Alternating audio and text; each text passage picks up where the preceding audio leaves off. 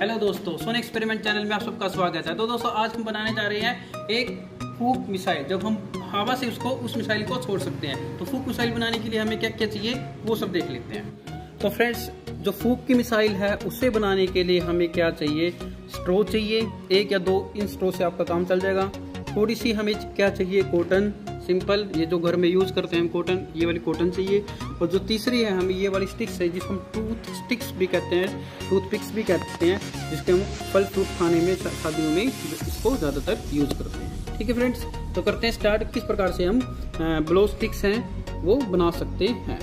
तो दोस्तों, अब हम बनाने जा रहे हैं अपनी ब्लो मिसाइल तो ब्लो मिसाइल बनाने के लिए फूक वाली मिसाइल बनाने के लिए हमें क्या चाहिए? सिंपली जो हमारी टूथपिक होती है, इसको हम क्या करेंगे? थोड़ा सा कॉटन लेंगे। और इसके पीछे हम इस हिसाब से लगा देंगे। बिल्कुल थोड़ी सी मात्रा में लगाना है हमें, ज़्यादा नहीं लगाना। अगर ये ना भी चिपके तो आप इसके लिए थोड़ा सा पानी का यूज़ कर सकते हैं। तो हमने ले ली इसके लिए। ये हमारी एक ग्लो मिसाइल तैयार है। इसको हम चेक भी करेंगे बाद में। तो फ्रेंड्स, हमारी जो फूक मिसाइल है, ब्लो मिसाइल है, वो अब तैयार है। तो हम इसका टेस्ट करके देखते हैं। इस स्ट्रो के अंदर पा के देखेंगे और इसको टेस्ट करके देखते हैं। तो फ्रेंड्स करते हैं स्टार्ट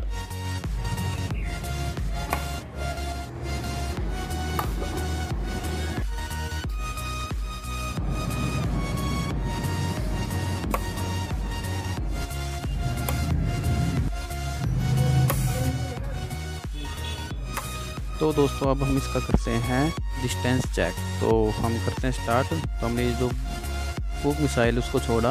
और ये गई है ट्वेंटी फीट की डिस्टेंस पे। काफ़ी अच्छी डिस्टेंस है ये, ट्वेंटी फीट वाली डिस्टेंस। अब हम सामने वाली बॉल को टच करके देखते हैं। वहाँ पर भी ये टच हो गई। लास्ट टाइम और अब हम इसको करके देखते हैं कि कितने दूर जाती है। तब हमने लास्ट टाइम इस कुक मिसाइल को छोड़ा तो ये फाइनली गई थर्टी फीट तक। यानी थर्टी फाइव थर्टी फिफ्थ तक ये जा सकती है। तो फ्रेंड्स वीडियो अच्छी लगती है, चैनल को लाइक और सब्सक्राइब करना मत भूलना।